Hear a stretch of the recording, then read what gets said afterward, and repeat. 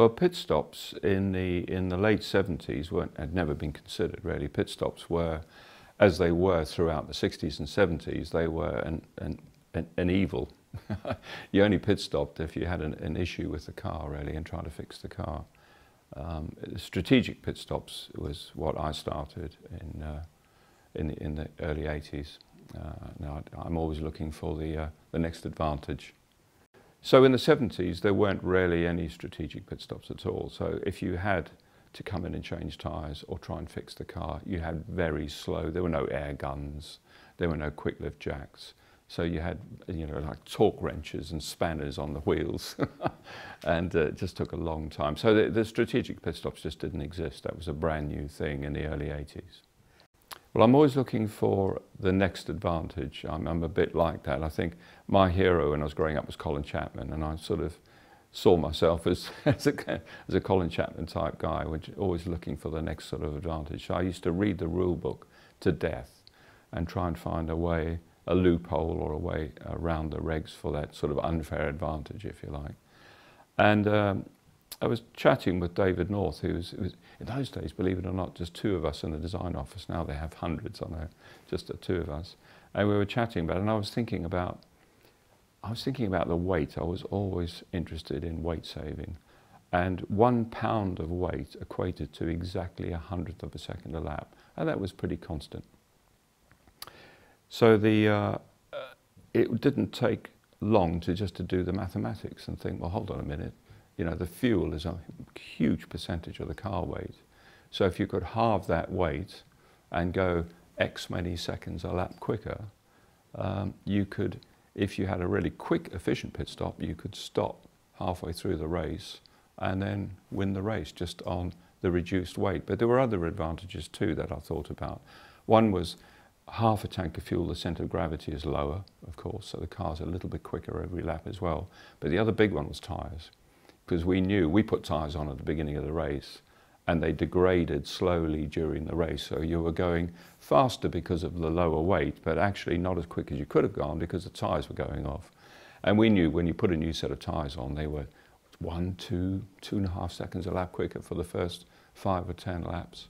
So what I did was I did quite a complex equation, which was the weight reduction, the centre of gravity height reduction, and the new tyre advantage and came up with a bogey time of about 26 seconds that we had to beat to make race winning with strategic pit stops. Okay, it's, it's all very well having these theories and strategic plans, but of course in practice there are massive uh, problems to overcome. And particularly in this case because trying to get up to 30 gallons of fuel into the car in, in pit stop time was virtually impossible because we were still filling cars with churns, aluminium milk cans we used to call them in those days. Uh, so you put a funnel in the filler and you pulled the churn into the car and you started the race. So that obviously wasn't going to work in a pit stop. Um, and the other issue was uh, the tyres only uh, work when they get up to speed. And uh, you know, you need two or three laps to get a tyre temperature into the tyre. And those two or three laps, you're going several seconds a lap slower. So that obviously wasn't going to work. And then, of course, the other big problem was getting the wheels changed in a very short space of time and getting the car jacked up very quickly and lowered safely. In addition to that, because we had the BMW turbocharged engine, we had a problem when the engine was came in hot and stopped the turbocharger bearing would seize because it had no oil flow around the outside of the casing.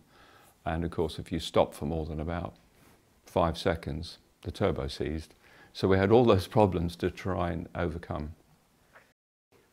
I think all the, all the strategy behind the stop was done with myself and David North, who was the only other designer in the office.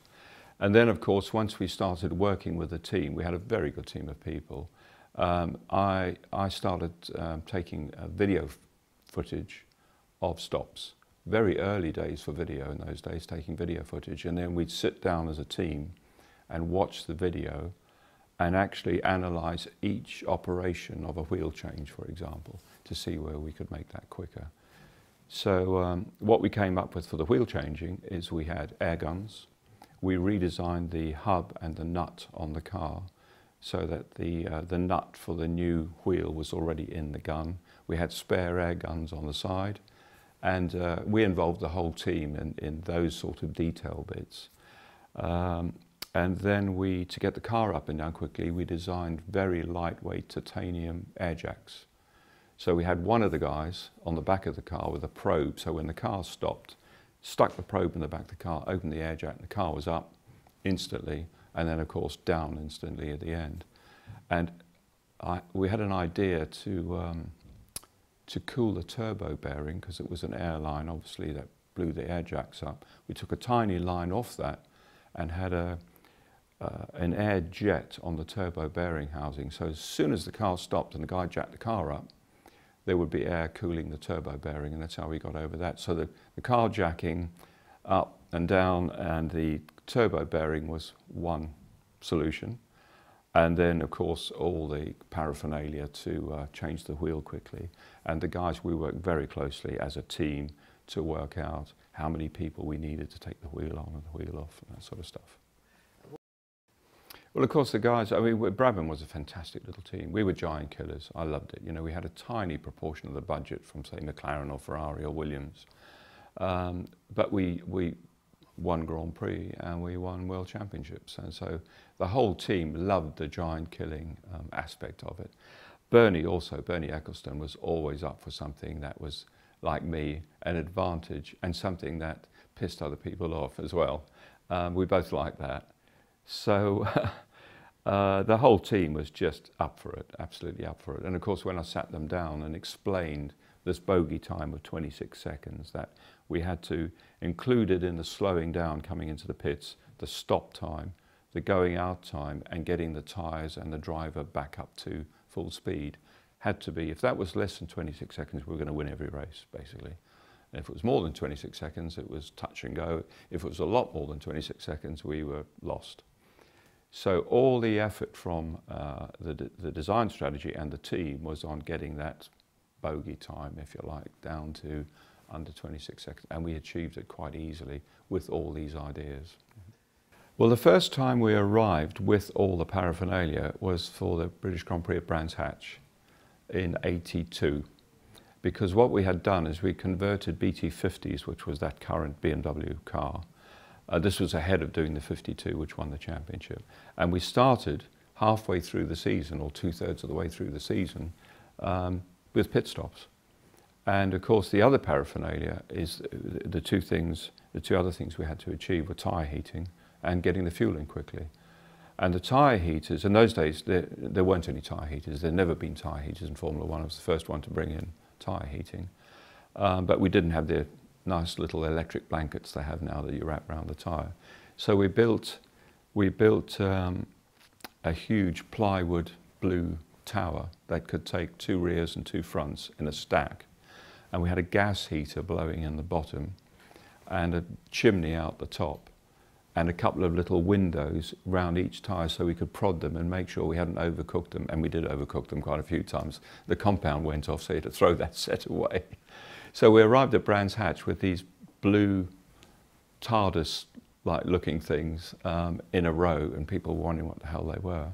And the other thing we haven't talked about, of course, is the, is the pressure uh, refueling.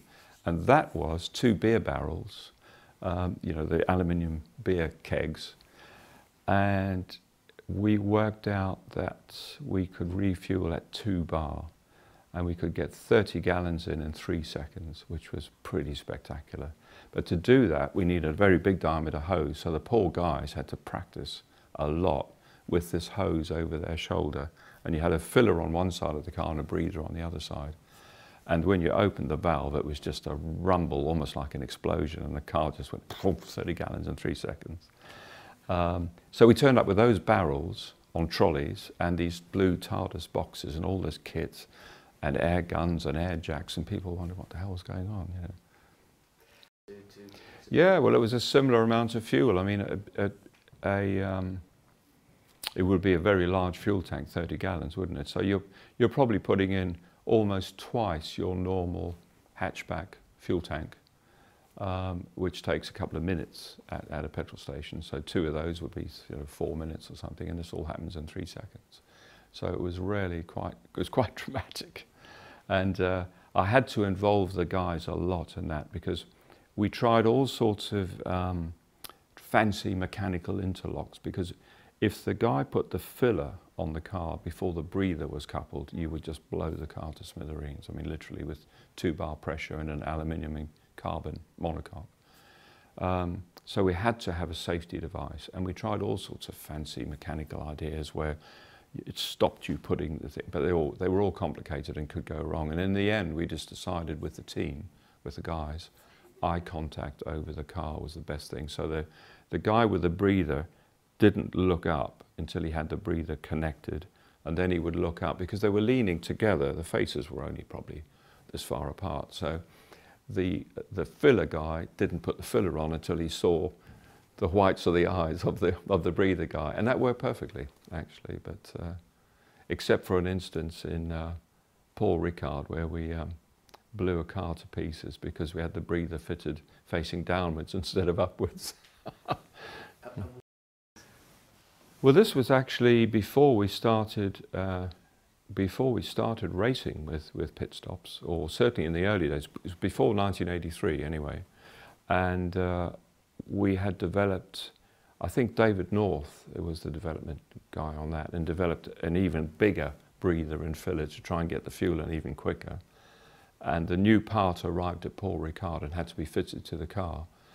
But uh, the guys, of course, had never seen it before. It was a brand new bit, and the breather was supposed to crank up towards the top of the tank to clear the air all until it was fuel, full of fuel. Um, and they fitted it the wrong way around. They fitted it downwards. So we dumped in the tank full of fuel uh, with two bar pressure. And of course, as soon as it got to the breather, fuel had nowhere to go.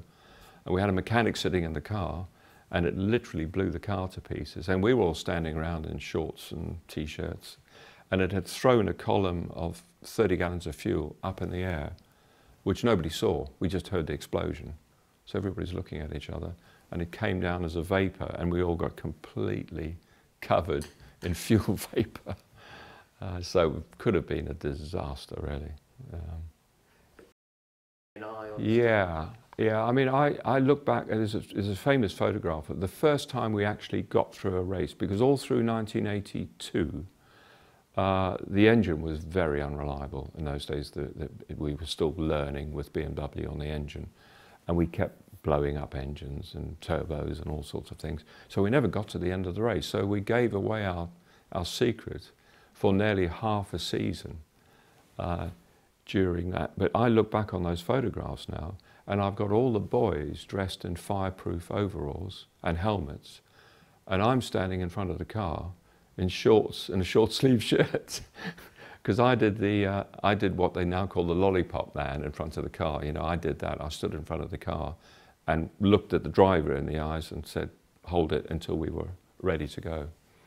Um, but it was, it was so dodgy thinking back, you know. But you don't think about that at the time because you're, you're just looking for to get the advantage. You know. Or refueling. Well, pressure, for the, the thing that was banned after the first year was pressure refueling, which was actually quite right because, you know, that was pretty dangerous stuff. Um, but then, of course, pit stops went on for many years after that. Um, and then the refueling was banned after a few fires and accidents and things.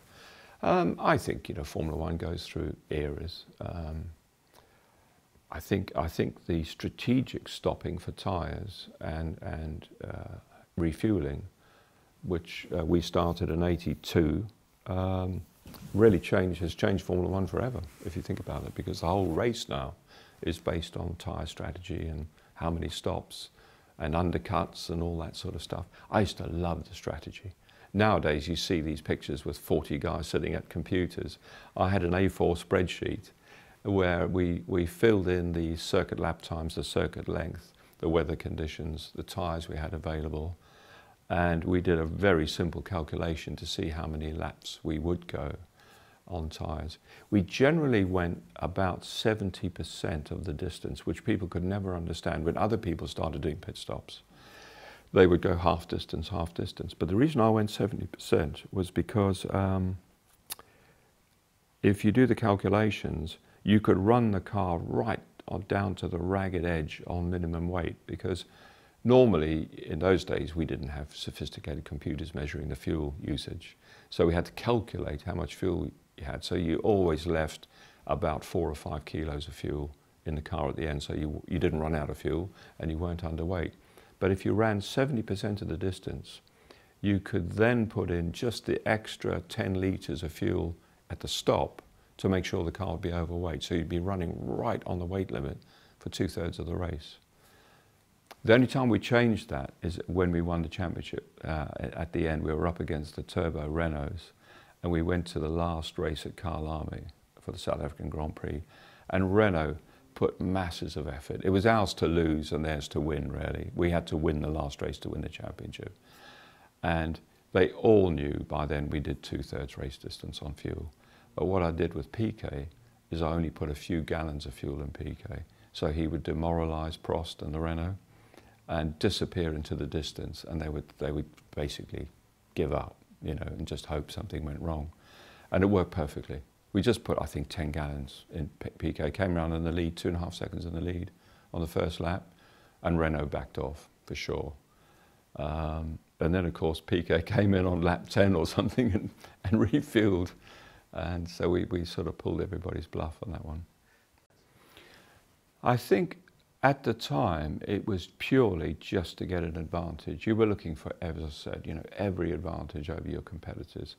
What it's turned into now is something that's been picked up as something to make the races more interesting and to introduce undercuts and overtaking and so because the racing has become much more um, unexciting, if you like, from an overtaking point of view. So that the, the organisers are now putting elements into Formula One to, to bring the excitement back.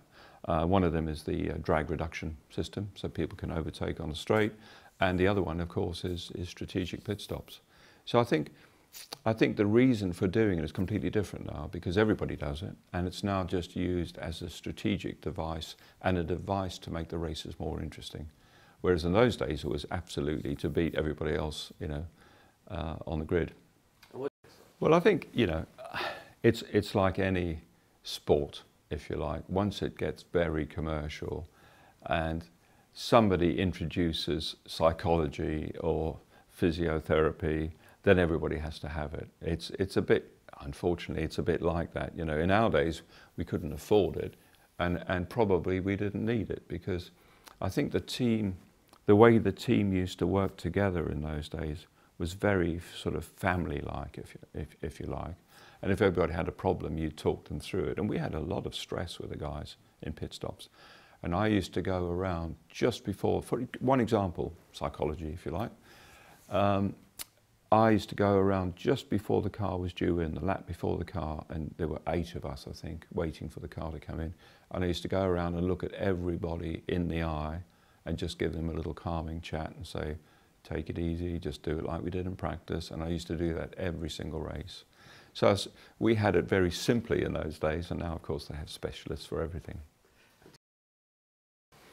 I think the early pit stops in the, in the 50s when Grand Prix racing started, um, they had to refuel because the, the, races were much, much longer. The races were 300 miles in some cases, you know, certainly much more than two hours, so they, they had to refuel. Um, but again, I don't think anybody had stopped. I'm sure, actually looking back, anybody had stopped to see how that could be turned to a strategic advantage. The only thing you could do would be perhaps to stop a little bit earlier or a little bit later. And in those days, they used to drag the driver out of the car, chuck another driver in if they thought they could win the race. um, but I genuinely believe the pit stops that we started at Brabham were the first real strategic pit stops designed to try and win the race. They had to stop for fuel in those days, so all they could do is try and make it as quickly as possible. And probably they had a little window where they could, you know, maybe stop two laps earlier or two laps later, but that was about it. So I think the, the Brabham pit stops were the first real strategic pit stops in Grand Prix racing.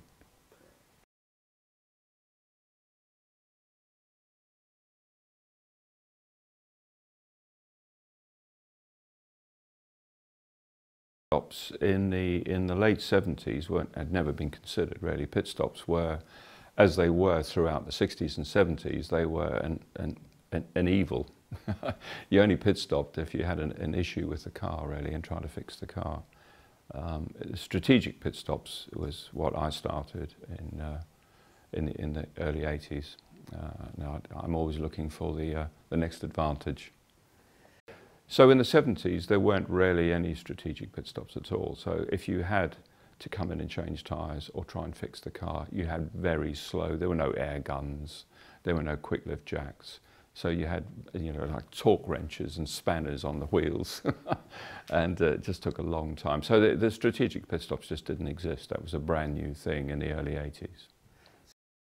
Well, I'm always looking for the next advantage. I'm, I'm, a bit like that. I think my hero when I was growing up was Colin Chapman, and I sort of saw myself as, as, a, as a Colin Chapman type guy, which always looking for the next sort of advantage. So I used to read the rule book to death and try and find a way, a loophole or a way around the regs for that sort of unfair advantage, if you like. And um, I was chatting with David North, who was, was, in those days, believe it or not, just two of us in the design office. Now they have hundreds, I know, just the two of us. And we were chatting about and I was thinking about, I was thinking about the weight. I was always interested in weight saving. And one pound of weight equated to exactly a hundredth of a second a lap. And that was pretty constant. So the, uh, it didn't take long to just to do the mathematics and think, well, hold on a minute you know, the fuel is a huge percentage of the car weight. So if you could halve that weight and go X many seconds a lap quicker, um, you could, if you had a really quick, efficient pit stop, you could stop halfway through the race and then win the race just on the reduced weight. But there were other advantages too that I thought about. One was half a tank of fuel, the centre of gravity is lower, of course, so the car's a little bit quicker every lap as well. But the other big one was tyres because we knew we put tyres on at the beginning of the race and they degraded slowly during the race. So you were going faster because of the lower weight, but actually not as quick as you could have gone because the tyres were going off. And we knew when you put a new set of tyres on, they were one, two, two and a half seconds a lap quicker for the first five or ten laps. So what I did was I did quite a complex equation, which was the weight reduction, the centre of gravity height reduction, and the new tyre advantage and came up with a bogey time of about 26 seconds that we had to beat to make race winning with strategic pit stops. Okay, but it's, it's, all very well having these theories and strategic plans, but of course in practice there are massive uh, problems to overcome. And particularly in this case because trying to get up to 30 gallons of fuel into the car in, in pit stop time was virtually impossible because we were still filling cars with churns, aluminium milk cans we used to call them in those days. Uh, so you put a funnel in the filler and you pulled the churn into the car and you started the race. So that obviously wasn't going to work in a pit stop. Um, and the other issue was uh, the tyres only uh, work when they get up to speed. And uh, you know, you need two or three laps to get a tyre temperature into the tyre. And those two or three laps, you're going several seconds a lap slower. So that obviously wasn't going to work. And then, of course, the other big problem was getting the wheels changed in a very short space of time and getting the car jacked up very quickly and lowered safely. In addition to that, because we had the BMW turbocharged engine, we had a problem when the engine was came in hot and stopped the turbocharger bearing would seize because it had no oil flow around the outside of the casing. And of course, if you stop for more than about five seconds, the turbo seized. So we had all those problems to try and overcome. I think all the, all the strategy behind the stop was done with myself and David North, who was the only other designer in the office. And then, of course, once we started working with a team, we had a very good team of people. Um, I, I started um, taking uh, video footage of stops. Very early days for video in those days, taking video footage. And then we'd sit down as a team and watch the video and actually analyze each operation of a wheel change, for example, to see where we could make that quicker. So um, what we came up with for the wheel changing is we had air guns, we redesigned the hub and the nut on the car so that the, uh, the nut for the new wheel was already in the gun. We had spare air guns on the side and uh, we involved the whole team in, in those sort of detail bits. Um, and then we, to get the car up and down quickly, we designed very lightweight titanium air jacks. So we had one of the guys on the back of the car with a probe, so when the car stopped, stuck the probe in the back of the car, opened the air jack, and the car was up instantly, and then of course down instantly at the end. And I, we had an idea to, um, to cool the turbo bearing, because it was an airline obviously that blew the air jacks up. We took a tiny line off that and had a, uh, an air jet on the turbo bearing housing. So as soon as the car stopped and the guy jacked the car up, there would be air cooling the turbo bearing, and that's how we got over that. So the, the car jacking up and down and the turbo bearing was one solution. And then, of course, all the paraphernalia to uh, change the wheel quickly. And the guys, we worked very closely as a team to work out how many people we needed to take the wheel on and the wheel off and that sort of stuff. Well, of course, the guys, I mean, Brabham was a fantastic little team. We were giant killers. I loved it. You know, we had a tiny proportion of the budget from, say, McLaren or Ferrari or Williams. Um, but we, we won Grand Prix and we won World Championships. And so the whole team loved the giant killing um, aspect of it. Bernie also, Bernie Ecclestone was always up for something that was, like me, an advantage and something that pissed other people off as well. Um, we both liked that. So uh, the whole team was just up for it, absolutely up for it. And of course, when I sat them down and explained this bogey time of 26 seconds, that we had to include it in the slowing down coming into the pits, the stop time, the going out time, and getting the tyres and the driver back up to full speed had to be, if that was less than 26 seconds, we were going to win every race, basically. And if it was more than 26 seconds, it was touch and go. If it was a lot more than 26 seconds, we were lost. So all the effort from uh, the, the design strategy and the team was on getting that bogey time, if you like, down to under 26 seconds. And we achieved it quite easily with all these ideas. Well, the first time we arrived with all the paraphernalia was for the British Grand Prix at Brands Hatch in 82. Because what we had done is we converted BT50s, which was that current BMW car, uh, this was ahead of doing the 52, which won the championship. And we started halfway through the season, or two thirds of the way through the season, um, with pit stops. And of course, the other paraphernalia is the two things, the two other things we had to achieve were tyre heating and getting the fuel in quickly.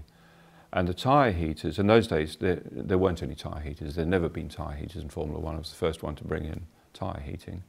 Um, but we didn't have the nice little electric blankets they have now that you wrap around the tyre.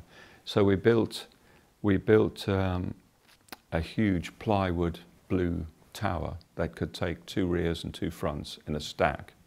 And we had a gas heater blowing in the bottom and a chimney out the top and a couple of little windows round each tyre so we could prod them and make sure we hadn't overcooked them. And we did overcook them quite a few times. The compound went off, so you had to throw that set away.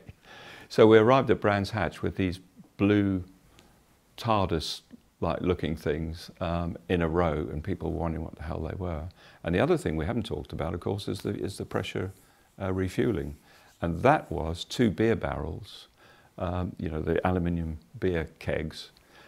And we worked out that we could refuel at two bar and we could get 30 gallons in in three seconds, which was pretty spectacular.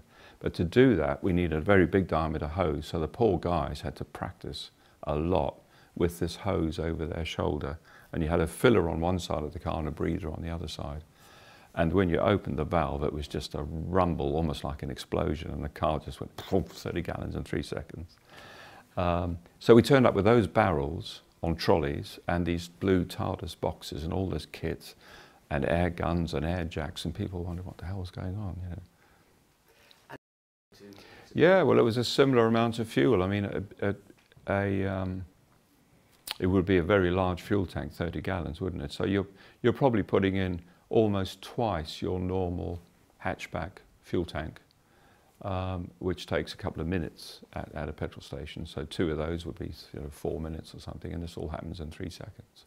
So it was really quite, it was quite dramatic.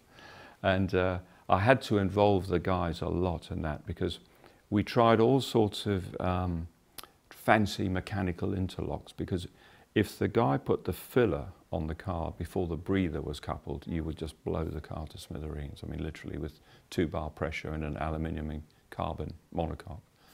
Um, so we had to have a safety device, and we tried all sorts of fancy mechanical ideas where it stopped you putting the thing, but they, all, they were all complicated and could go wrong. And in the end, we just decided with the team, with the guys, eye contact over the car was the best thing. So the, the guy with the breather didn't look up until he had the breather connected, and then he would look up because they were leaning together. The faces were only probably this far apart. So the, the filler guy didn't put the filler on until he saw the whites of the eyes of the, of the breather guy. And that worked perfectly, actually, but uh, except for an instance in uh, Paul Ricard where we um, blew a car to pieces because we had the breather fitted facing downwards instead of upwards.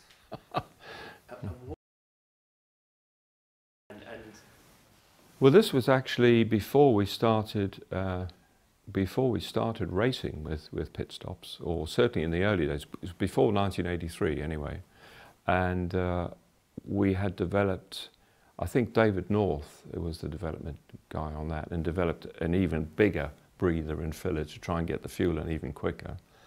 And the new part arrived at Paul Ricard and had to be fitted to the car. But uh, the guys, of course, had never seen it before. It was a brand new bit, and the breather was supposed to crank up towards the top of the tank to clear the air all until it was fuel, full of fuel. Um, and they fitted it the wrong way around. They fitted it downwards.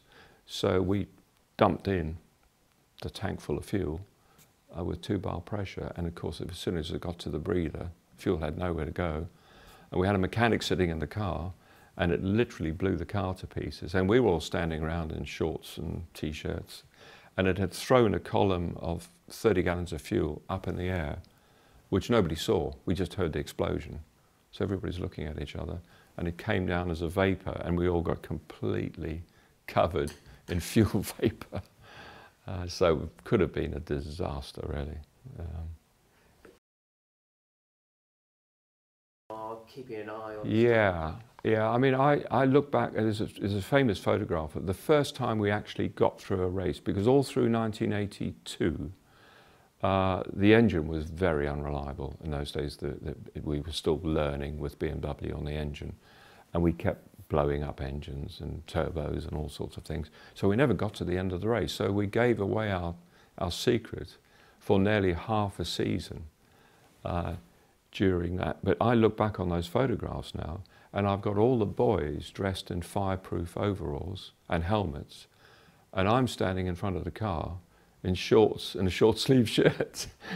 Because I did the, uh, I did what they now call the lollipop man in front of the car. You know, I did that. I stood in front of the car and looked at the driver in the eyes and said, hold it until we were ready to go. Um, but it was, it was so dodgy thinking back, you know. But you don't think about that at the time because you're, you're just looking for, to get the advantage. You know. Well, pressure, for the, the thing that was banned after the first year was pressure refueling, which was actually quite right because, you know, that was pretty dangerous stuff. Um, but then, of course, pit stops went on for many years after that. Um, and then the refueling was banned after a few fires and accidents and things. Um, I think you know Formula One goes through eras. Um, I think I think the strategic stopping for tyres and and uh, refueling, which uh, we started in '82, um, really changed has changed Formula One forever. If you think about it, because the whole race now is based on tyre strategy and how many stops and undercuts and all that sort of stuff. I used to love the strategy. Nowadays, you see these pictures with 40 guys sitting at computers. I had an A4 spreadsheet where we, we filled in the circuit lap times, the circuit length, the weather conditions, the tyres we had available, and we did a very simple calculation to see how many laps we would go on tyres.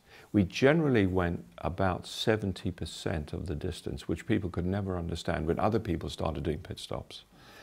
they would go half distance, half distance. But the reason I went 70% was because um, if you do the calculations, you could run the car right down to the ragged edge on minimum weight because normally in those days we didn't have sophisticated computers measuring the fuel usage. So we had to calculate how much fuel you had. So you always left about four or five kilos of fuel in the car at the end. So you, you didn't run out of fuel and you weren't underweight. But if you ran 70% of the distance, you could then put in just the extra 10 litres of fuel at the stop to make sure the car would be overweight. So you'd be running right on the weight limit for two thirds of the race. The only time we changed that is when we won the championship. Uh, at the end, we were up against the Turbo Renaults, and we went to the last race at Kyalami for the South African Grand Prix. And Renault put masses of effort. It was ours to lose and theirs to win, really. We had to win the last race to win the championship. And they all knew by then we did two thirds race distance on fuel. But what I did with PK is I only put a few gallons of fuel in PK. So he would demoralize Prost and the Renault and disappear into the distance and they would, they would basically give up, you know, and just hope something went wrong. And it worked perfectly. We just put, I think, 10 gallons in Piquet, came around in the lead, two and a half seconds in the lead on the first lap, and Renault backed off for sure. Um, and then, of course, Piquet came in on lap 10 or something and, and refueled. And so we, we sort of pulled everybody's bluff on that one. I think at the time it was purely just to get an advantage. You were looking for, as I said, you know, every advantage over your competitors. What it's turned into now is something that's been picked up as something to make the races more interesting and to introduce undercuts and overtaking and so because the racing has become much more um, unexciting, if you like, from an overtaking point of view. So that uh, the, the organisers are now putting elements into Formula One to, to bring the excitement back. Uh, one of them is the uh, drag reduction system, so people can overtake on the straight. And the other one, of course, is, is strategic pit stops. So I think, I think the reason for doing it is completely different now because everybody does it and it's now just used as a strategic device and a device to make the races more interesting. Whereas in those days it was absolutely to beat everybody else, you know, uh, on the grid. Well, I think, you know, it's, it's like any sport, if you like. Once it gets very commercial, and somebody introduces psychology or physiotherapy, then everybody has to have it. It's, it's a bit, unfortunately, it's a bit like that. You know, in our days, we couldn't afford it, and, and probably we didn't need it because I think the team, the way the team used to work together in those days was very sort of family-like, if, if, if you like. And if everybody had a problem, you talked them through it. And we had a lot of stress with the guys in pit stops. And I used to go around just before, for one example, psychology, if you like. Um, I used to go around just before the car was due in, the lap before the car, and there were eight of us, I think, waiting for the car to come in. And I used to go around and look at everybody in the eye and just give them a little calming chat and say, take it easy, just do it like we did in practice. And I used to do that every single race. So we had it very simply in those days, and now, of course, they have specialists for everything. I think the early pit stops in the, in the 50s when Grand Prix racing started, um, they had to refuel because the, the, races were much, much longer. The races were 300 miles in some cases, you know, certainly much more than two hours, so they, they had to refuel. Um, but again, I don't think anybody had stopped.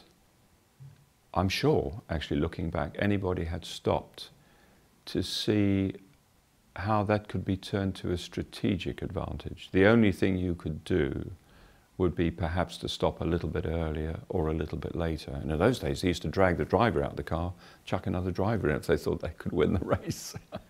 um, but I genuinely believe the pit stops that we started at Brabham were the first real strategic pit stops designed to try and win the race. They had to stop for fuel in those days, so all they could do is try and make it as quickly as possible and probably they had a little window where they could, you know, maybe stop two laps earlier or two laps later, but that was about it.